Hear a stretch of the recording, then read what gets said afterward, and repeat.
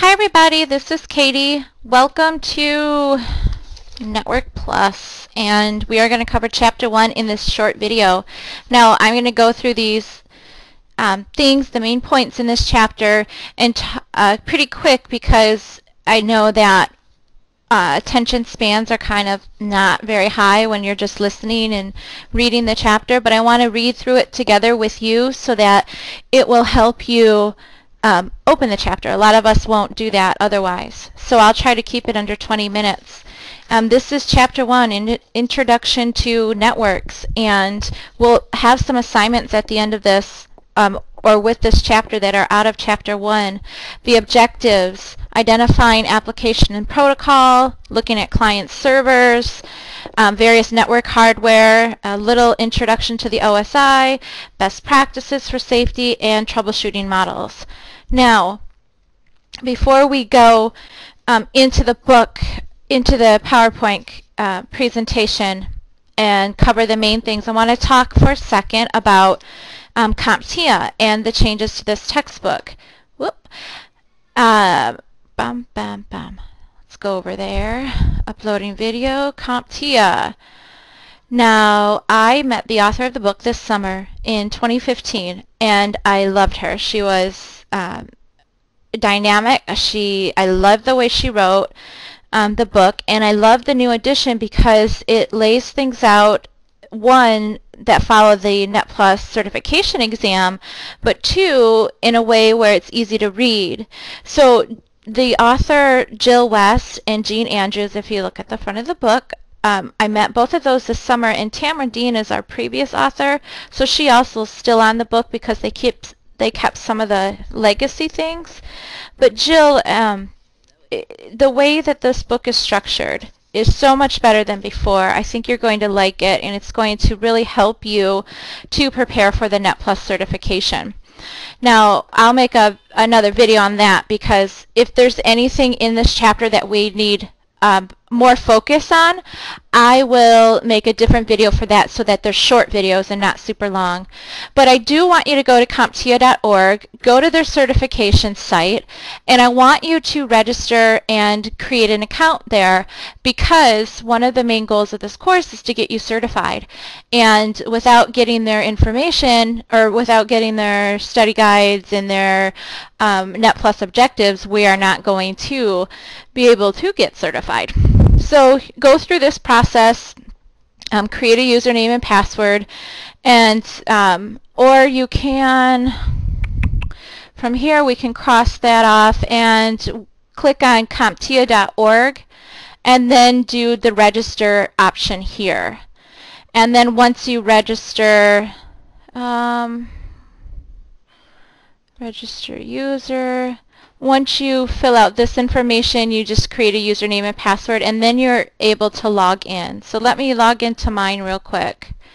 And I'm just a normal person like you. I don't have any special privileges. you can use your student email account, save my password that it doesn't know.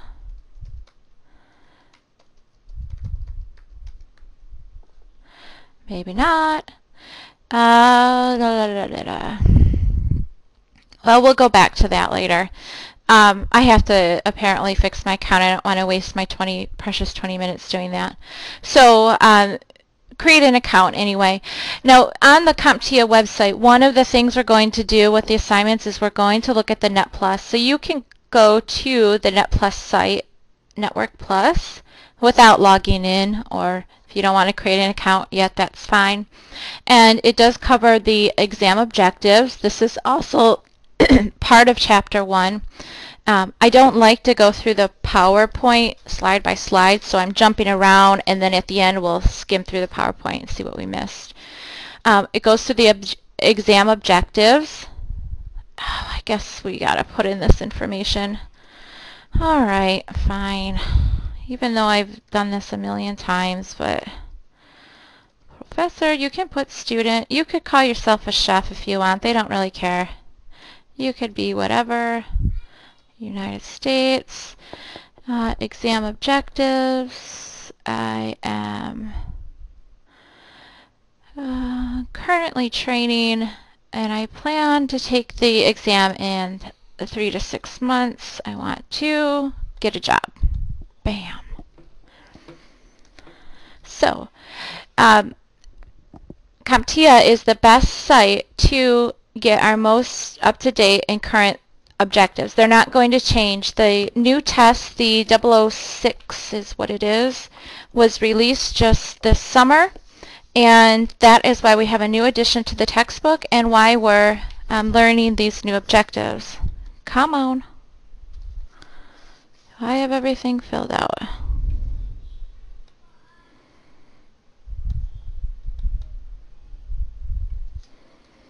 Last name required. See?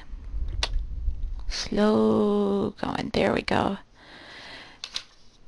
Um, one of the links I have in Blackboard is a link to pass the to where you can go to take the tests, but I'll cover that in an another video. So we have the N10 006. Those are the objectives that we're covering. The 5 is the one that's just recently expired. So we want to go to here and um, I will download that too so you have that and throw it in Blackboard. But you should create you should create a copy of it too or keep a copy of it as well. Uh, one of your assignments is going to look through this. And also we have required transcender for this class. And you can see the five topics that uh, that CompTIA tests you on.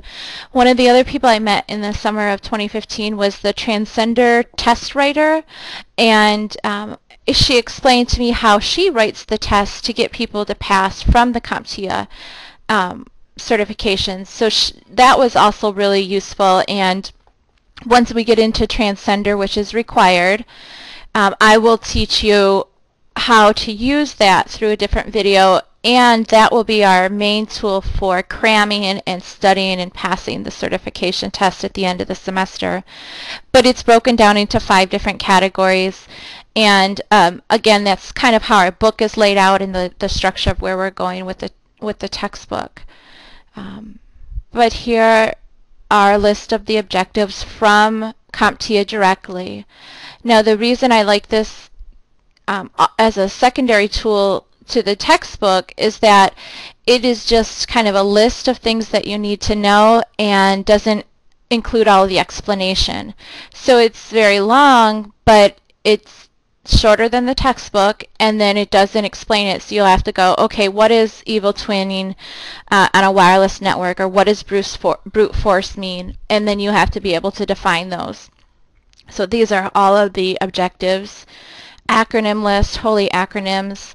Um, Transcender is going to help us know all of these objectives that are on this document from CompTIA. So don't worry about that now. We're just in chapter one. But you want to keep that and save it. Um, some of the other things from this trans, um, I'm sorry, this CompTIA site uh, that you'll see uh, study materials. You don't need to buy anything else. I, I, I think with, well, I know with just this textbook, your commitment, and Transcender, you can pass the test. Um, finding a testing center and paying for the test, um, you don't want to buy a voucher from here. You want to buy a voucher from Davenport and or um, or GRCC, but it this particular time we don't have our testing center and our, our vouchers purchased yet, but Davenport sells their vouchers to us at a discounted price. And I, I have this information in Blackboard as well. Uh, and I'll also list it as part of this video. So, purchase a voucher.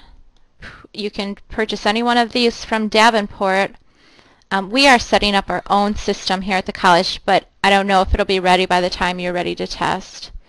And you can do the Net Plus for 163.24 right now. That price fluctuates sometimes, but if you bought that voucher here, it is $277. No way. 100 and 100 and 10 or 13 dollars cheaper or 100 and some odd dollars cheaper if you bought it here. So much better option and, and place to go. So I'll share that link for you with you. But that's for now what you need to know about the CompTIA and the NetPlus cert. That um, in the back of the chapter, the hands-on pro projects on, that start on page 43 um, we'll look at like one four as part of our assignments that has you looking at some of those things. Uh, what are certifications, what degrees are required. It does a little job search and it's a good way to kind of get an idea of what the um, CompTIA um, Network Plus exam is. So that is a big portion of what chapter 1 is about. Now going back to the chapter from the beginning, if I look at, um, I'm on page 2, so I'm just starting at the beginning. Uh, some of these things you're going to read as you go through the quiz, so I won't go on and on and on about how networks are used because, um, or how computers are used, because this is something, even though we're in an intro to networking class, you should probably already know. We use them to share um, printers and we use them to share internet and use them to share files and everything that we do is on a computer network. The internet is a huge network or uh, um, uh, WAN, a huge uh, wide area network that we access. Um, popular client server applications that are used on networks and the internet, things that um, you've probably heard, web services, email services, FTP for transferring files, Telnet to connect to uh, remote areas, remote desktop, remote applications. These are all types of services that we connect with in a client server environment. So client server on page 3 shows you a little picture sure if it's in here. Yeah, right here. Where here's the client, you want to do something, so you ask the server if you could do something. It sends back to the client and says, sure, here you go, you can do that. Same thing when you print. I hit the print button, I ask the print server if I can print, the print server says yes or no, and then sends a message back to me. So that's a client-server environment. Um, that's what we're learning in this class. And when we talk about local area networks, that's what we're learning. We're not talking about setting up networks at home. That kind of um, not confuses people in the beginning, but people want to know how to configure Windows or Microsoft so that they can share services at home and set up a network. And that's not what we're doing in this course. That's the Windows class. We're learning big environments, medium to large size network environments where we have a server and we have um, clients and we have this huge network set up that you know that we're we're used to in any any business.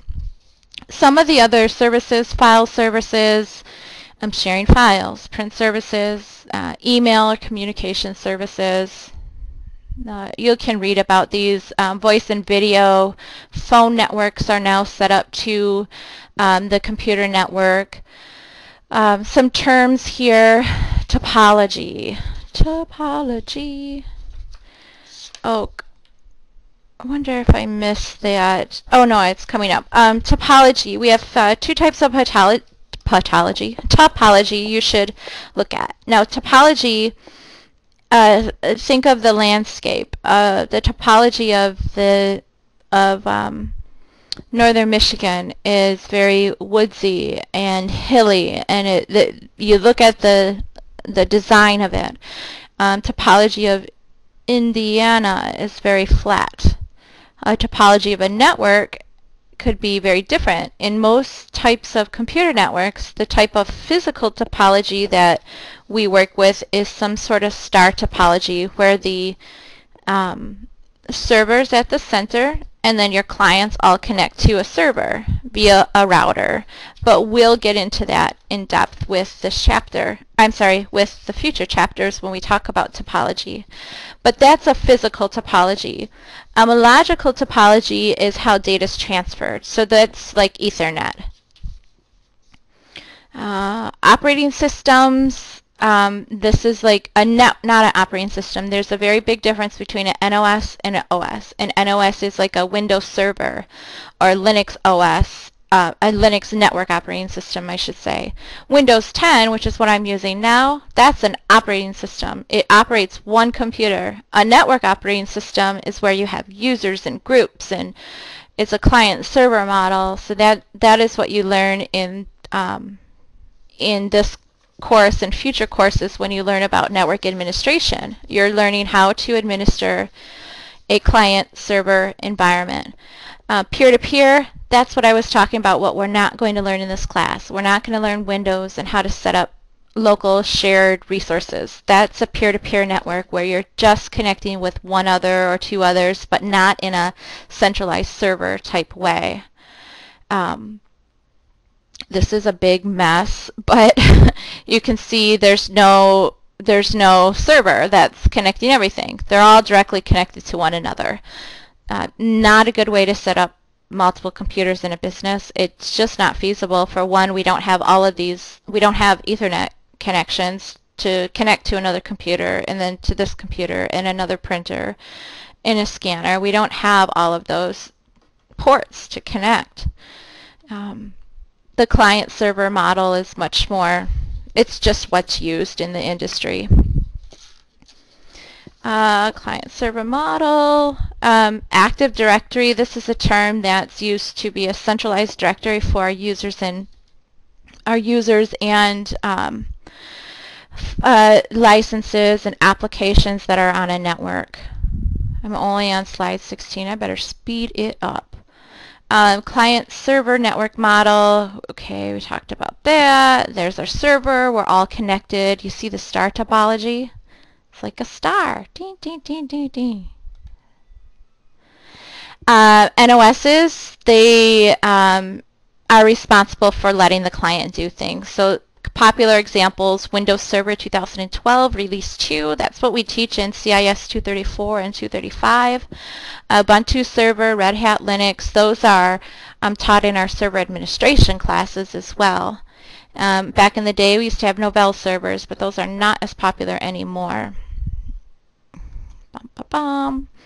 Um, physical hardware is touched on in this chapter and LANs and their hardware. So page 13, it shows you a couple switches. Oh, that's probably up here.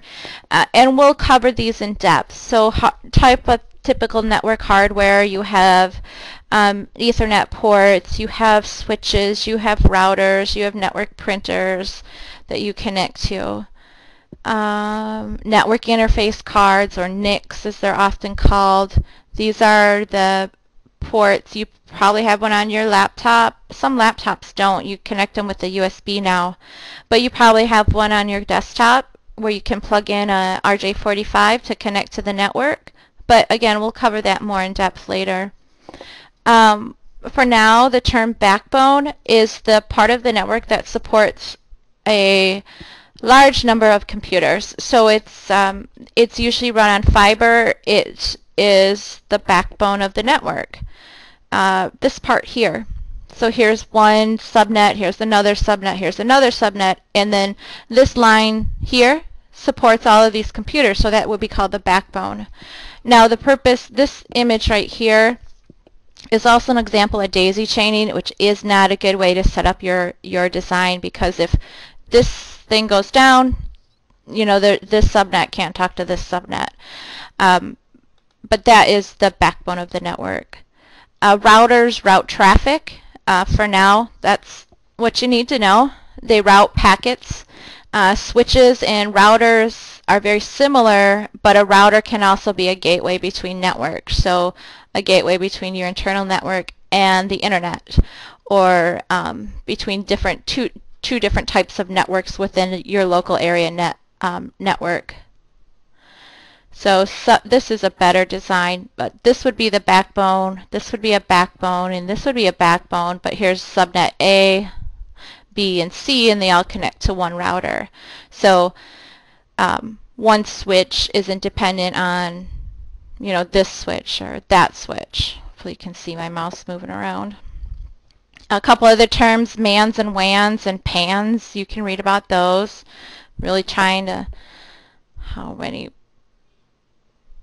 I'm really trying, oh, I'm out of time, but I'm going to keep going because we're going to get stuff. We're not covering 58 slides, but we're getting the gist of this, um, of this of this chapter.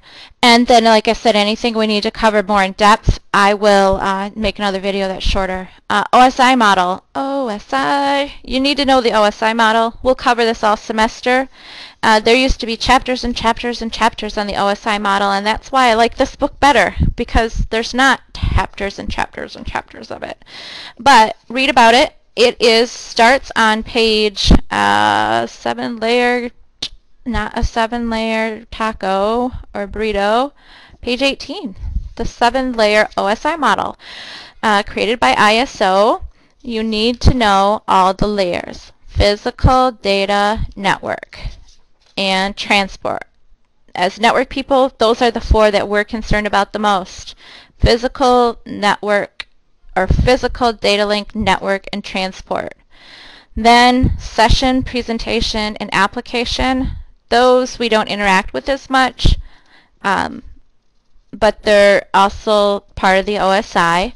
And what the OSI model is, is a uh, very basic. It's a system for packaging up our packets of data. So I'm a user. I don't know what's coming up here. Um, you know, I'm not going to go through all of these because you want to read these and we'll cover them more in depth later.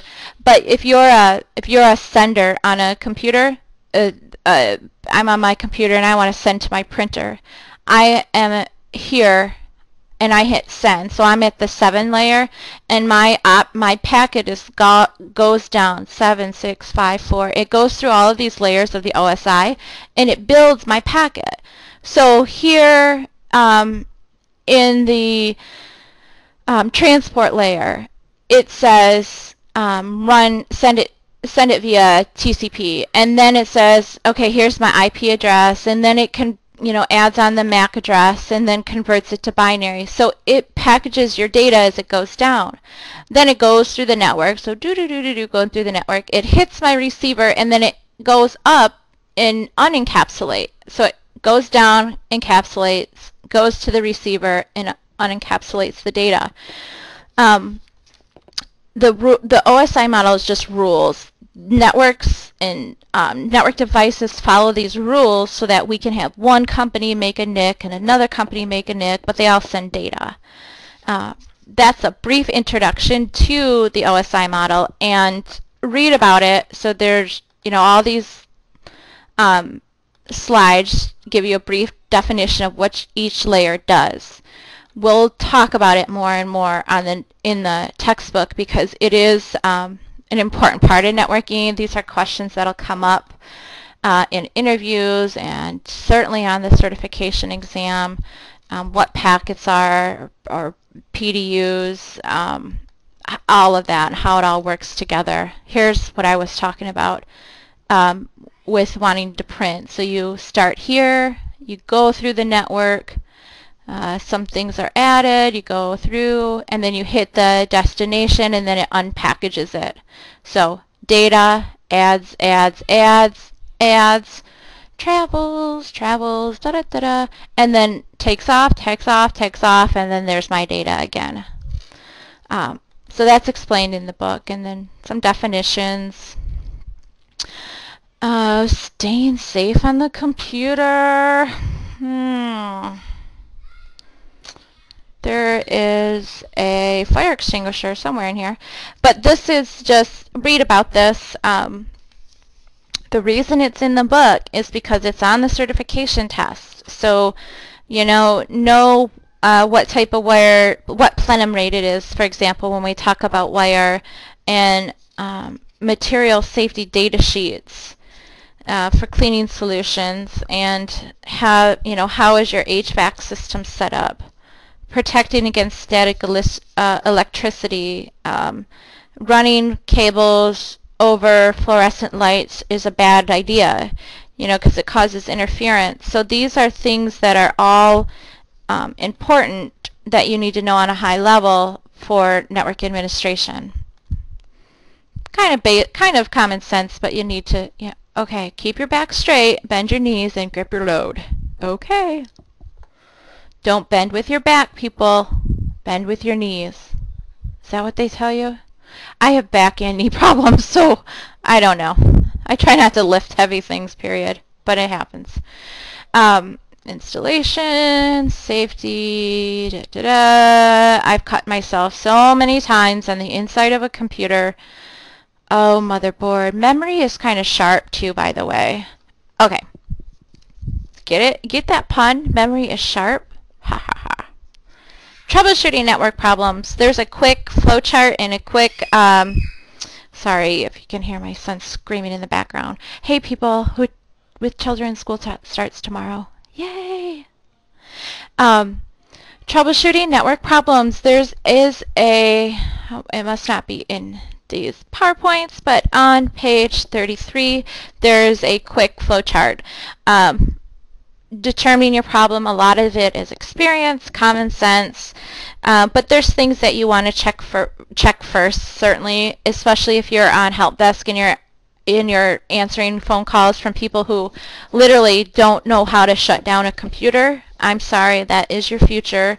You'll have to tell them how to find start and shut down and um, help them out that way. So that is a little um, introduction to kind of what networking is about. And then as we go in this, as we go on with this semester, um, all of these things will cover um, much more in depth, but that's just an intro to chapter one.